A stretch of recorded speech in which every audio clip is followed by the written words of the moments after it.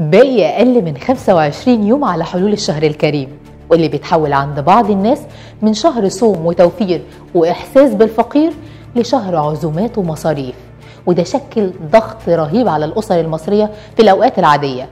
فما بالك والشهر الفضيل جاي في ظروف اقتصادية صعبة على الجميع وده مع ارتفاع الأسعار بتاعة السلع خاصة السلع الغذائية والناس ما بقتش عارفة تعمل إيه وتدبر مصاريف الشهر إزاي في بنكير هنقول لك تعمل إيه علشان تقدر تصوم وإنت مرتاح.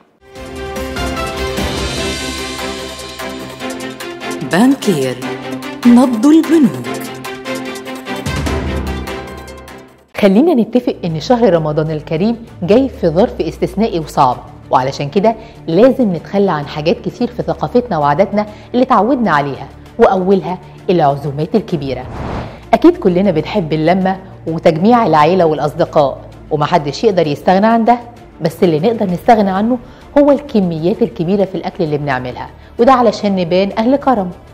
مش لازم نعمل كذا صنف ومش ضروري قوي أكتر من نوع لحوم.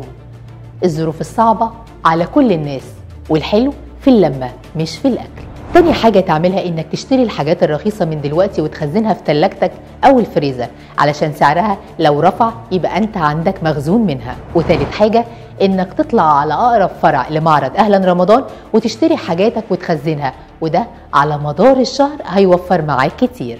ومن الحاجات التانية المهمة اللي لازم تعملها إنك تشتري حاجاتك جملة مش من السوبر ماركت. وتشوف البديل الرخيص للسلع وتخزنها. مثلا اشتري طماطم واعمل منها صلصة وشيلها في الفريزر وهكذا. وعلشان توفر للشهر الكريم جهز فطارك على يومين وبلاش ترمي الأكل اللي فاضل وتطبخ غيره وكده هتوفر أكل كتير. كل ده هتلاقيه على آخر الشهر وفر معاك والأيام عدت من غير ما تعيش في أزمة.